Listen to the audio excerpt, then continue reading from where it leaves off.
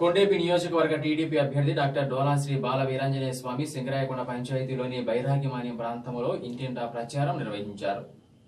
ఈ సందర్భంగా గ్రామానికి చెందిన గాదంశెట్టి విజయ్ గాదంశెట్టి సురేష్ తుమ్మపూడి శ్రీను తుమ్మపూడి సతీష్ తాతా సుబ్రహ్మణ్యం ఎమ్మెల్యే స్వామి సమక్షంలో టీడీపీలో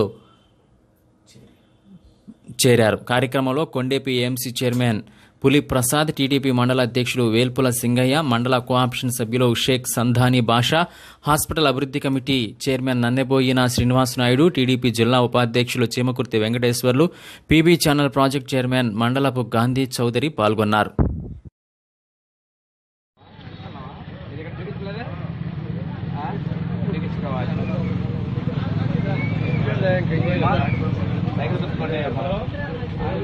అదిగో